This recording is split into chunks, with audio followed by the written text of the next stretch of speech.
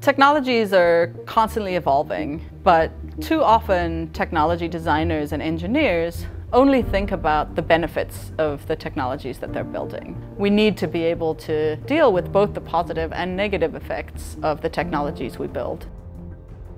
I'm Nikki Dell, and I'm a computer and information scientist. I study the impact of digital technologies on underserved communities and build systems that make our computer-mediated world safer and more equitable for everyone. Digital technologies play growing roles in facilitating intimate partner abuse.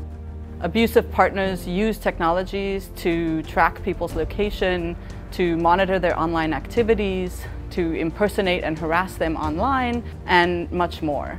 We saw a need to provide survivors with expert technology assistance.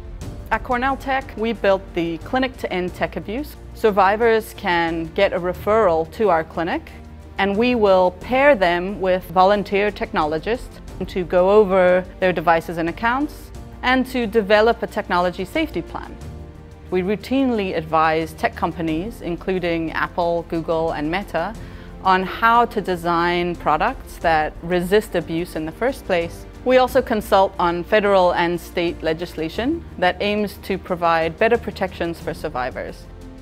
Another area of my work focuses on the role of technology in home healthcare work. Home care workers are a vulnerable and marginalized workforce. And from a technology perspective, their tools are really designed more to monitor and track their compliance rather than to support their work as they deliver care in the patient's home.